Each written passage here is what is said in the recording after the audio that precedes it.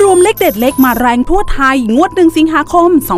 2567 1. เลขเด็ดหลวงปู่ศิลา 1. สิงหาคม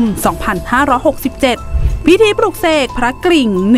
125 885 24 จัดทำพิธีเทศทองพิธีพุทธาพิเศษพระกริ่ง รุ่นเทวะโมรี และพระสุนทรีวานี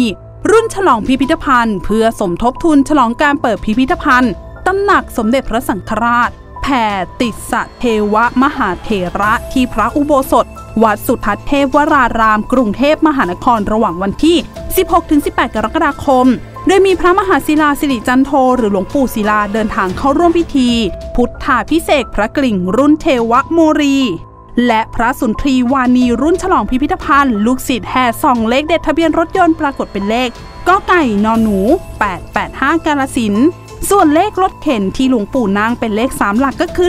125 เลขล้อรถเข็นคือ 24 ชาวเน็ตก็มาคอมเมนต์อนุโมทนาสาธุเผื่อได้เลขมงคลรางวัลใหญ่สลากกินแบ่งรัฐบาล งวดวันที่ 1 สิงหาคม 2567 2. ไหว้ต้นพระศรีมหาโพธิ์2,500 วันพระใหญ่ 255250 ผู้สื่อข่าวปราจีนบุรีรายงานบรรยากาศวันหยุดยาวต่อเนื่องในวันอาสาฬหบูชาพบว่าที่วัดโคกมะกอก ที่ตำบลดงขี้เหล็กอำเภอเมืองปราจีนบุรีพุทธศาสนิกชนเกือบ 500 คน เดินทางมาทำบุญตักบาตรพร้อมนำผ้าอาบน้ำฝนเทียนพรรษามาถวาย และฟังธรรมเทศนา โดยพระครูสถิตสุที่คุณเจ้าอาวาสวัดโคกมะกอกเทศนาธรรมถึงความเป็นมาและความสำคัญของวันอาสาฬหบูชา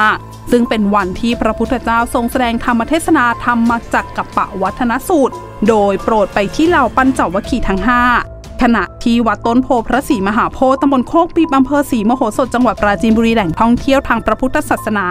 ก็จะมีต้นพระศรีมหาโพธิ์อายุประมาณ 2,500 ปีเก่าแก่ที่สุดในประเทศไทยเป็นต้นไม้ต้นเดียวที่ได้รับการขึ้นทะเบียนเป็นโบราณสถานจากกรมศิลปากรนำหน่อมาจากพุทธคยาประเทศอินเดียต้นเดียวกับที่พระพุทธเจ้านั้นทรงตรัสรู้ 3. แห่ส่องเลขเด็ดทูบตัวเลขพิธีบวงสรวงยกสารประภูมิที่โรงงานลูกชิ้นเป็ดเมือง 111019ที่โรงงานผลิตลูกชิ้นเป็ด ครัวบ้านพ่อหมู่ที่ 9ตำบลอ่าวน้อยอำเภอเมืองจังหวัดประจวบคีรีขันธ์มีการจัดพิธีบวงสรวงบูชาพระภูมิเจ้าที่ โอกาสยกสารพระภูมิเจ้าที่ใหม่ประดิษฐานประจำโรงงาน เพื่อความเป็นสิริมงคลและความราบรื่นในการประกอบกิจการ โดยมีการบูชาถวายเครื่องเส้นไหว้ของขาวหวาน นอกจากนี้ก็มีดนตรีวงระนาดและรำถวายร้อมทั้งทำบุญถวายพระตาหารเพนแด่พระสงฆ์อีกด้วย ซึ่งก็มีญาติสนิทมิสหาย และชาวบ้านในพื้นที่มาร่วมงาน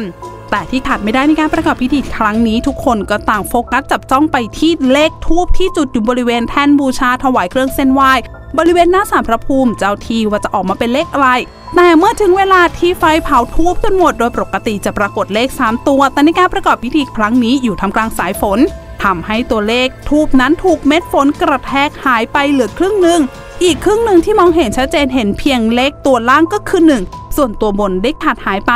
ส่วนเลขตัวกลาง 1 ตัวที่มีสภาพแตกร้าวแยกออกจากกันทุกสายตาก็จับจ้องมองและจินตนาการเอาว่าเป็นเลขอะไร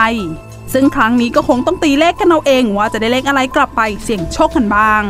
4. ขอพรโชคลาภ2ท้าเวสุวรรณได้เลขเด็ด 0216996ผู้สื่อข่าวจังหวัดปราจีนบุรีรายงานบรรยากาศวันหยุดยาวต่อเนื่องก่อนเดินทางกลับที่ทำงานพบนักท่องเที่ยวประชาชนพากันแวะสักการะขอพรขอโชคขอลาบเลขเด็ดสองท้าวเวสสุวรรณวัดดังตลอดทั้งวันที่วัดแจ้งเมืองเก่าตำบลประจันตคามอำเภอประจันตคามนักท่องเที่ยวก็พากันมาขอโชคลาภท้าวเวสสุวรรณองค์ใหญ่ สูงที่สุดในประเทศไทยกว่า 19 เมตร ประดิษฐานกลางแจ้งข้างอาคารโดม โดยมีการบูชาด้วยเครื่องสักการะ ดอกกุหลาบแดง 9 ดอก ทูบ9 ดอก เทียนแดงหอมตลอดจนน้ำแดงก่อนจะถึงวันหวยออกก็มีการตั้งจิตอธิษฐานด้วยหลายคนจุดทูบเสียงทายบางคนก็ลุงไห่จับเลขปิงปองได้เลขเด็ดก็คือ 0216996 เลข 2 ตัว 216996 เลข 3 ตัว 021 210 021210 5ผู้ใหญ่บ้านสาวแก้บน จากนั้นขอโชคเลขเด็ดจุดทูปเสียงทายได้เลข 021809ผู้สื่อข่าวปราจีนบุรีได้รับรายงานว่าที่วัดชามีพุทธโธวาติดถนนสายสุวรรณสอนกบินบุรีสระแก้ว มีผู้ใหญ่บ้านสาวได้มาแก้บนขอโชคลาภจัดนางรำถวาย หลวงพ่อโสธรองค์ใหญ่จำลองที่ตั้งโดดเด่นเป็นสง่าตระการตา ซึ่งมีพุทธศาสนิกชนแวะเวียนมากราบไหว้ขอพรขอโชคขอลาภขอเลขเด็ดกันเป็นจำนวนมาก โดยนางสาวจารุวรรณสาโรธผู้ใหญ่บ้านหมู่ที่ 15 ตำบลนนทรี บอกว่าตนเองเป็นหนึ่งในผู้ที่มาบนบานสารกล่าวกับหลวงพ่อพุทธโสธรองค์ใหญ่ ก็ขอพรให้ได้งาน เลือกตั้งเป็นผู้ใหญ่บ้านปรากฏว่าก็ได้สมใจปรารถนาก็เลยมาแก้บนด้วยการจุดประทัด1 0,000นัด เลี้ยงหัวหมู2หัวไข่ต้ม 1,990 ฟอง เชื่อว่าผู้ที่มากราบไหว้ และขอพรหลวงพ่อพุทธโสธรที่วัดสร้างในศาลามนดบซึ่งถือว่ามีความศักดิ์สิทธิ์บนบานสารกล่าว หรือขอพรสิ่งใดก็สมปรารถนา ซึ่งวันนี้ก็จุดเลขทูบเสียงทายก็ได้เลข 021809 ก็นำไปซื้อเลขเด็ดกันต่อไป ติดตามเลขเด็ดจากเซียนหวยตารางหวยงวด1 สิงหาคม 2567 ได้ที่ INN ลอตเตอรี่พร้อมตรวจผลการออกรางวัลได้ที่ตรวจผลรางวัลงวดล่าสุดได้เลย